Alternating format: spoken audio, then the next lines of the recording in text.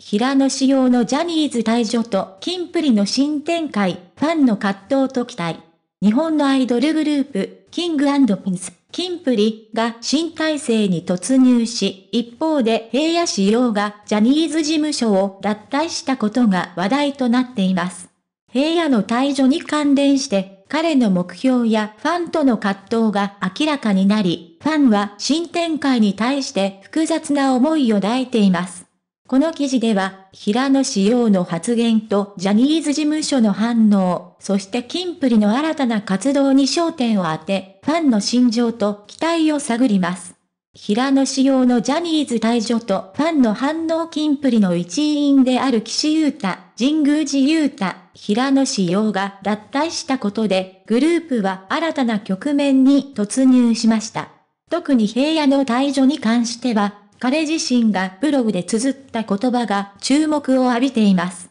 そのブログで平野は、グループがジャニー北川前社長によってデビューさせてもらった最後のグループであることを誇らしげに綴り、目標が達成できなかったことを悔しがっています。特に、できないと言われたら仕方がない、という和文がファンの間で反響を呼び、平野の意気込みと現実とのギャップに驚きの声が広がりました。彼の目指していた目標は、グループでの海外進出であり、そのために全力で取り組んでいたことがわかります。しかし、彼は、もう遅いな、と感じ、目標を失い、脱退を決断したと明かしています。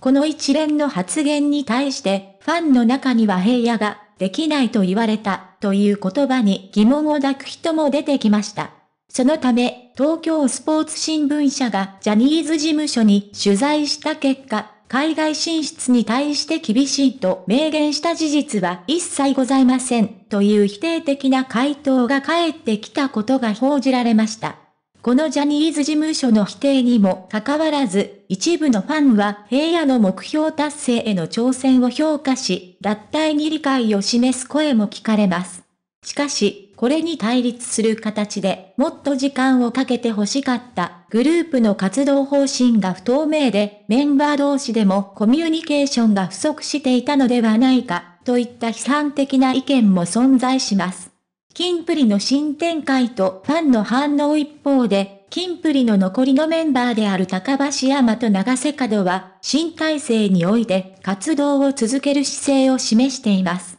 彼らはデビュー5周年を記念して新曲の発売や初のファンミーティングの開催を発表し、怒涛の告知にファンは大いに期待と興奮を覚えています。特に、新曲、何者のリリースやファンミーティングの告知は、ネット上で大きな反響を呼び起こしました。ファンは、ティアラ、キンプリファンの故障を寂しくさせず、楽しみを提供してくれるメンバーに感謝の意を表明しています。ファンクラブ限定版を購入すれば応募できるファンミーティングや新番組、筋トレ、仮のスタートもキンプリファンにとっては嬉しいサプライズとなっています。しかし、これらのポジティブな反応に混じって、一部のファンはまだ3人組だった頃のキンプリを愛しており、新たな展開になかなか馴染めていないという本音を吐露しています。脱退したメンバーを惜しむ声や、急な展開に追いつけない不安の声も広がっています。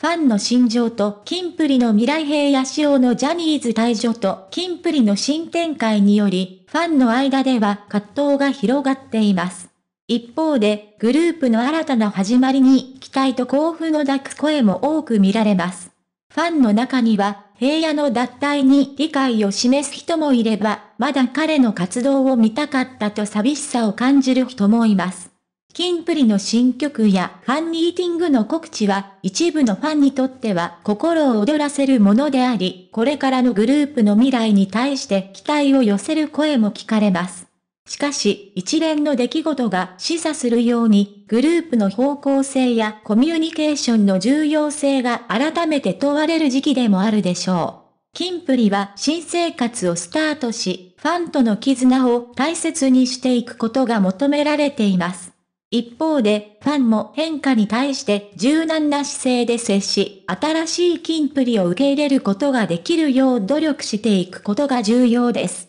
これからもファンとグループが共に歩み、成長していくことを期待しています。成長して